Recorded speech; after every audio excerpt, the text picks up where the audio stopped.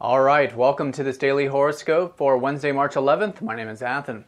All right, so we have a very, very powerful day today. The energies are very high. We've got the Uranus Pluto square exact, has been exact for the past couple days. But now we have Mars going exact over Uranus, really activating the whole uh, aspect between these two uh, very powerful planets. And we are just entering the third quarter phase of the lunar cycle, adding to that energy, and the moon is going into Scorpio today as well. So, a lot happening. So, let's start by looking at the overall picture.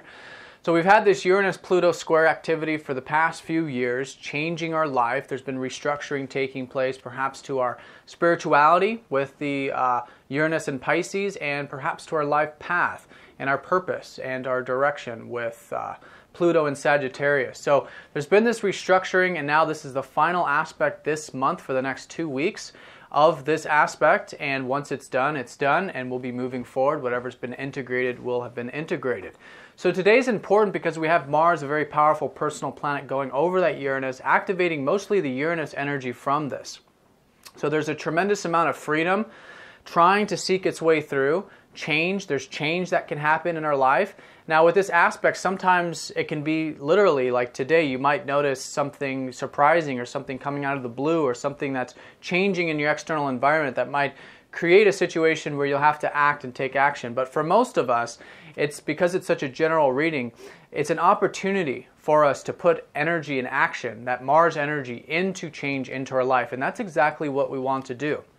Now, there's some cautions of the day because it is a square, and we are talking about Mars and Uranus, and that is taking it nice and slow and using this constructive energy in a very uh, productive sort of way. It's a great time right now, today, tomorrow, this whole week to set new goals, new ambitions, start new projects, anything that helps channel in this, uh, this energetic. Uh, active energy into something. That's what we want to essentially utilize. But I feel like it's to a, a, large degree a lot of these major shifts and changes that have been unfolding over the past few years. So putting that energy into something, working it out, putting it, you know, into a project or something like this would be the best utilization of this energy in particular.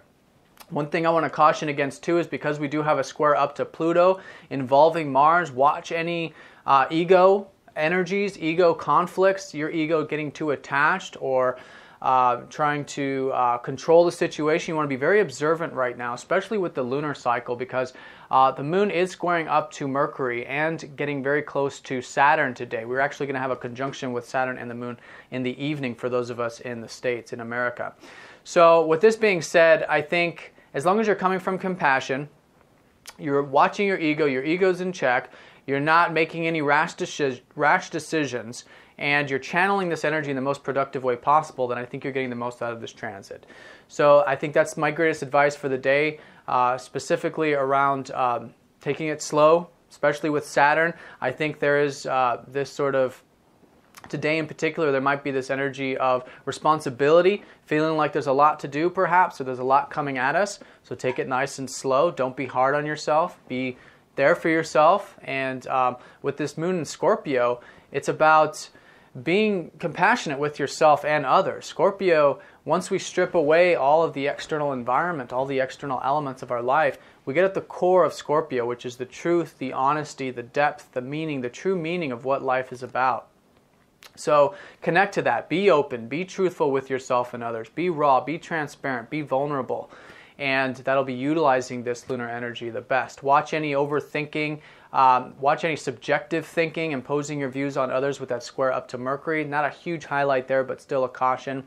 And uh, be willing to try something new. Be willing to put this energy into something productive. That's the best utilization of this. All right, so let's go and draw a card, see what Spirit has in store for us for today. Okay, Scorpio. Notice she's dotted in the color red, and this is about the root chakra. And that's what Scorpio in many ways symbolizes, is embracing our instinctual nature. We have it all. We have the envy, we have the jealousy, we have the anger, we have the passion, we have the love, we have the etc. We've got all the whole rainbow as human. We have the whole hue of colors of emotions, of all our areas and elements of self. And this includes the instinctual elements, the lower elements of self. So when I see Scorpio, I feel like it's a reminder, especially with the moon here, to embrace all aspects of self, including the lower, quote, lower aspects, the human aspects of yourself, and, um, and move forward from there. Perhaps this is a reminder from Spirit to embrace that, to see that, to step into that. And once we have that holistic, whole perspective on being, that's where we step into our greatest spiritual power and greatest spiritual change. All right, everyone, have a fantastic day. Please let me know if you have any questions. I'll talk to you tomorrow, and I will see you next time. Take care.